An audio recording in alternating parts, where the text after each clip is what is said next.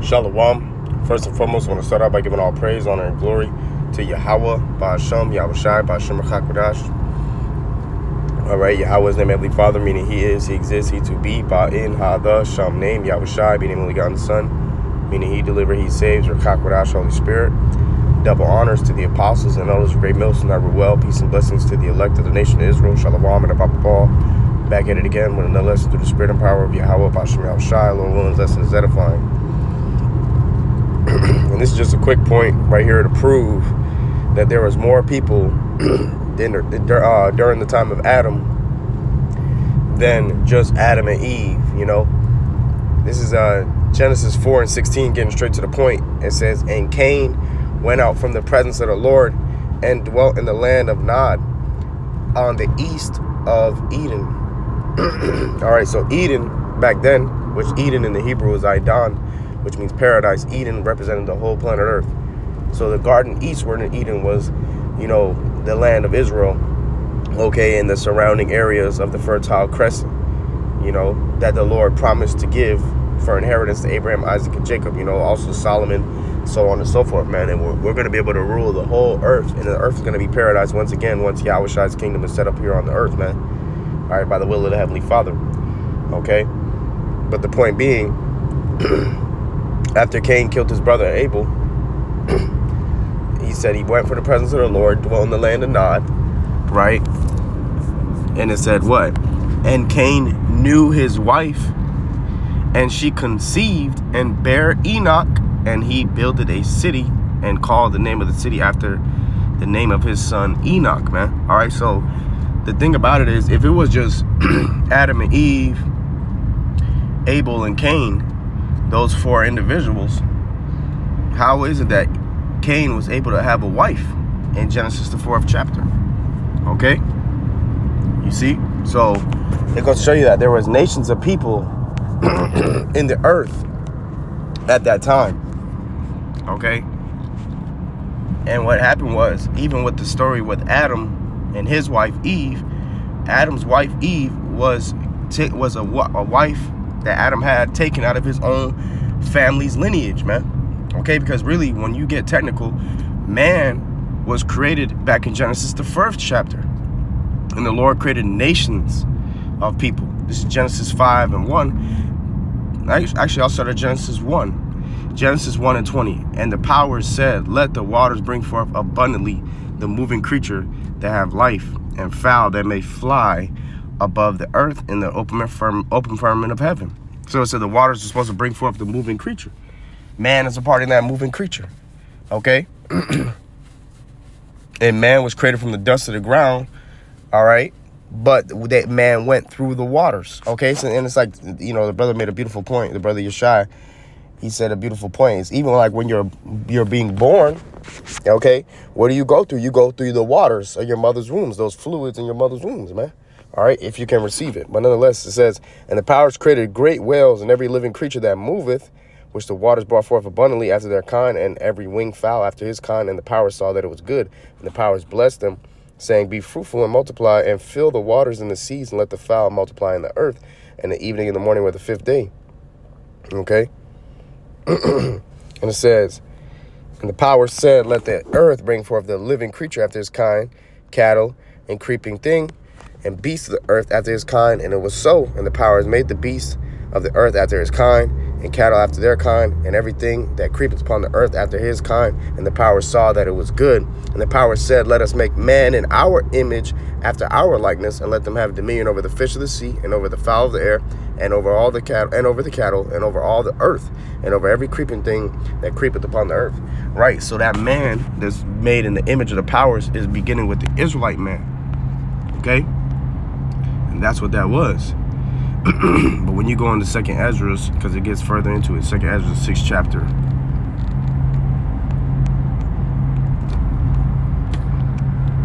Second Ezra six.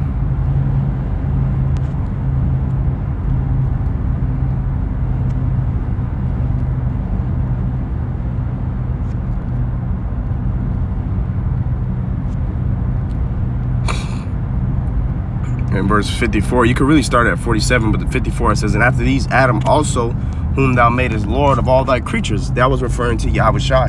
Yahweh Shai, he's the first Adam. Okay? Even though Adam had parents, all right, but Adam was the one given the first Adam per se as a title. He was given the way of the Heavenly Father, uh, righteousness in the earth. All right. And after these, Adam also whom thou madest, Lord of all thy creatures, of him come we all, and the people also whom thou hast chosen, right? Because there's a chosen lineage out of the line of Adam, right? Because there's more than there was more than one people that came of Adam. That says because mankind was known referred to as Adam. As as for the other people which also come of Adam, thou hast said that they are nothing, but be like unto spittle and as liking the abundance of them unto a drop that falleth from a vessel. And that's talking about the heathen. Okay? So, Genesis 1 and 27 says, So power is created man in his own image. In the image of Yahweh Shemashai created he him. Male and female created he them. Right. So it was more than one man and woman in the earth. And what were they commanded to do? be fruitful and multiply. Meaning what? That they kept repopulating and having more children, more seeds, being fruitful and multiplying in the earth. So of course, by the time you get to Genesis, the fourth chapter, Cain can find a wife because Adam was being fruitful and multiplying in the earth. Okay? You see? So that right there proves it. But let's get let's get further reinforcement. Genesis 5 and 1. This is the book of the generations of Adam. Yeah, the generations. Okay? In the day that the powers created man in the likeness of the power made he him. Male and female created he them and blessed them and called their name Adam in the day when they were created. Going to show you that. It was a whole, you know, lineage, man.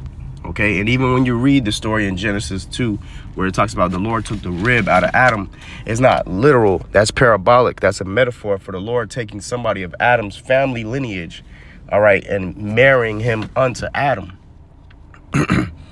okay genesis 2 and 21 and the lord power caused a deep sleep to fall upon adam and he slept and he took one of his ribs and closed up the flesh instead thereof all right. So when it's talking about the ribs, the bones are likened unto family members.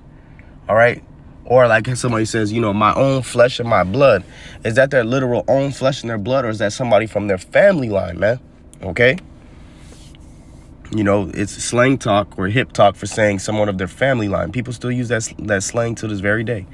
Judges 9 and 2, Speak, I pray you, in the ears of all the men of Shechem, whether it's better for you either that the sons of Jerubbaal, Jerubbaal which are threescore and ten persons, reign over you, or that one reign over you.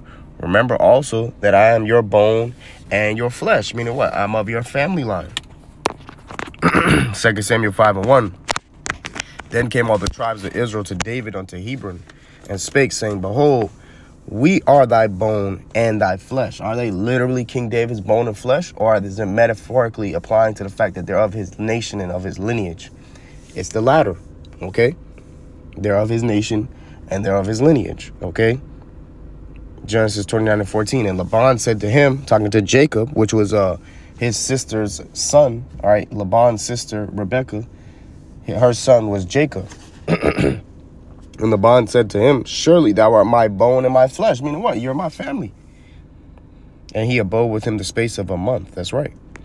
Ephesians 5 and 28. So ought men to love their wives as their own bodies. He that loveth his wife loveth himself. For no man ever yet hated his own flesh, but nourisheth and cherisheth it, even as the Lord the church. For we are members of his body, of his flesh, and of his bones. Meaning what? That we are literally direct descendants of Yahweh Shai's lineage. We are sons of God. Okay? Because we come from the line of Adam too. The Israelites. Lord willing, we be a part of that elect number. Okay, it says, For this cause shall a man leave his father and mother and shall be joined unto his wife, and they shall and they too shall be one flesh. Meaning what? That a man has sex with his wife and they become one flesh. They become on one accord after that. That's why a lot of times when a woman has sex with a man, All right.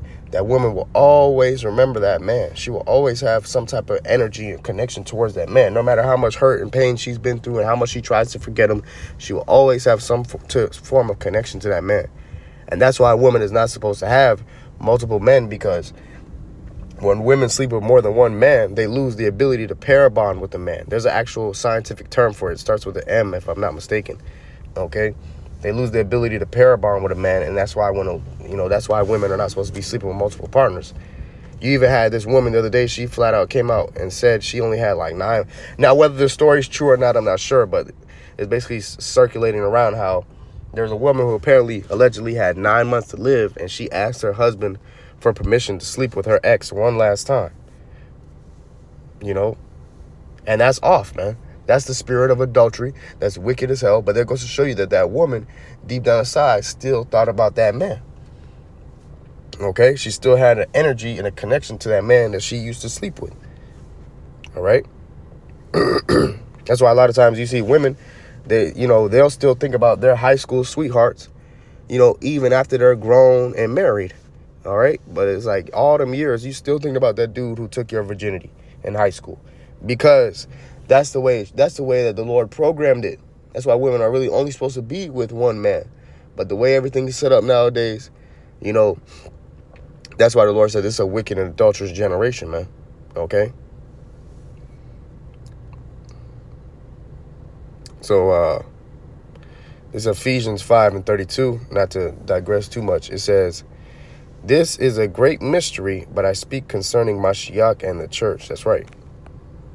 And what's the mystery? The mystery between Adam, his wife, you know, so on and so forth, man. Okay. But Apostle Paul was using it as a double entendre for the church. Okay. Second Samuel 19 and 12, it says, Ye are my brethren, ye are my bones and my flesh. Wherefore then are ye last to bring back the king? And ye and say ye to Amasa, Are thou not of my bone and of my flesh? The Most High do so to me, and more also, if thou be not captain of the host before me continually in the robe of Joab. Right, but going to show you what we're of the same lineage.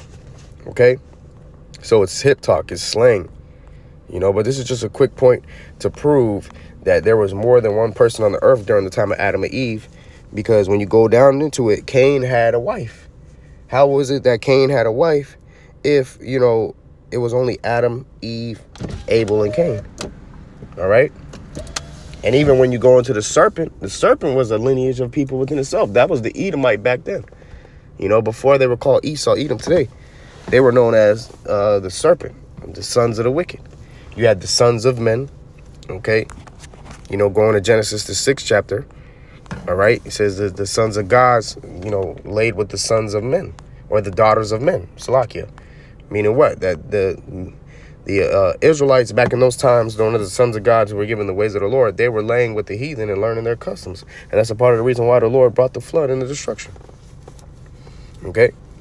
So you got to understand there was more than one person in the earth, all right, during the time of Adam, other than Adam and Eve, you know, alone. All right? But with that, you know, even when it says Adam and Eve hid amongst the trees of the garden, in Genesis third chapter says they sowed fig leaves and hid themselves amongst the trees. It means that they were trying to, uh, it's metaphorically speaking about how they were trying to hide amongst the other nations, the ways of the other nations. But the thing is, Israel stands out. All right? Israel stands out amongst these other nations, man. Even when you have an Israelite that may look like an Edomite, but he's hanging around a bunch of Edomites, but he has an Israelite spirit, you're going to see how he still stands out, man. All right? Like a sore thumb. This is Ezekiel 31 and uh,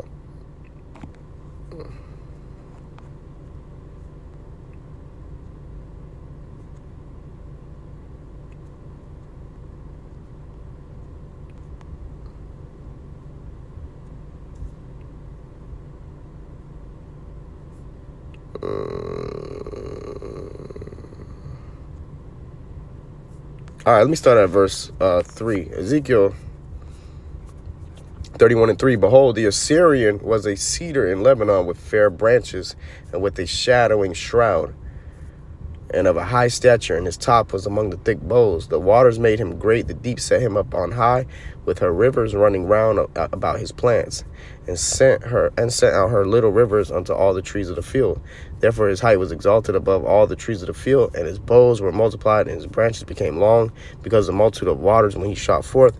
All the fowls of heaven made their nests in his boughs, and under his branches did all the beasts of the field bring forth their young, and under his shadow dwell all great nations.